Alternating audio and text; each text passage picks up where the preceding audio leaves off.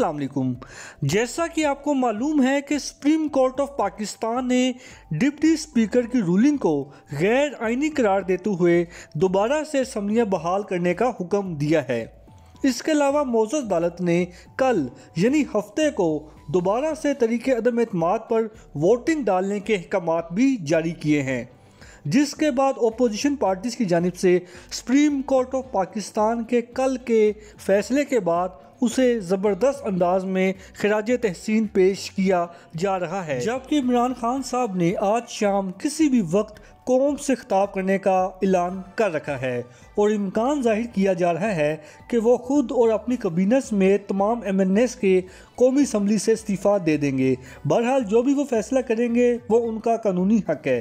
लेकिन एक बात ज़रूर है कि सुप्रीम कोर्ट ऑफ़ पाकिस्तान ने जनाब डिप्टी स्पीकर कासम सूरी की रूलिंग के हवाले से जो जजमेंट पास की है, उसने तारीख रकम कर दी है। फिर चाहे आपकी किसी भी जमात के साथ एफिलेशन हो, वो आपका हक है।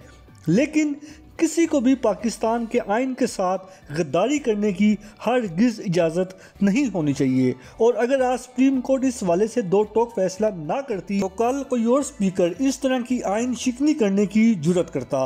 लिहाजा, जब मुल्की मफाद की बात आ जाए तो पाकिस्तान के आइन और कानून की बालादस्ती को ही मुकदम रखना चाहिए। ना के नज़रिए ज़रूरत के तहत नाजायज़ कामों को जायज़ करार दिया जाए, जैसा कि माजी में इसकी चंद एक मिसालें मिलती हैं, जिसके बाद अदालत उज़मा ने नज़रिए ज़रूरत को हमेशा के लिए दफन कर दिया।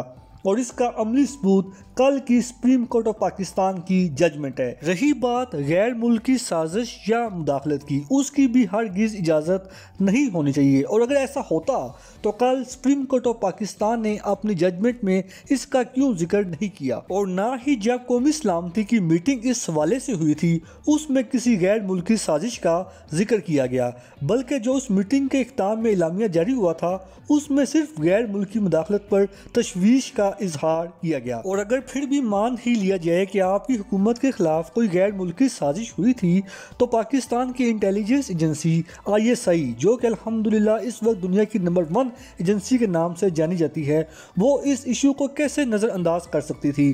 क्योंकि अगर ऐसा कुछ होता तो आईएसआई ने लाजमन इमरान खान साहब के नोटिस में ये बात लाना थी। लिहाजा इस पूरी सूरत हाल में यही बेहतर होगा कि खुदारा पाकिस्तान की खारजा पॉलिसी के हवाले से ऐसा कोई बयान ना दे, जिससे आपके बैरून मालिक सा तल्लुक पर उसका असर पड़े। क्योंकि हम पहले ही माशी तौर पर बहुत कमज़ोर मुल्क हैं। ऊपर से आप पर I M F world bank F जैसे बैन अवी दारों की तलवार लटक रही है।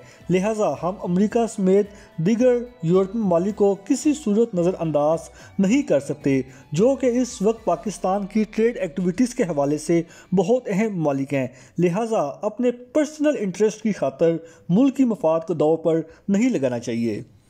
फ़िलहाल आज के लिए इतना ही। मिलते हैं इंशाल्लाह अगली वीडियो में। तब तक के लिए इजाज़त। अल्लाह पाक हम सब का हामी नासिर हो। पाकिस्तान, जिंदाबाद।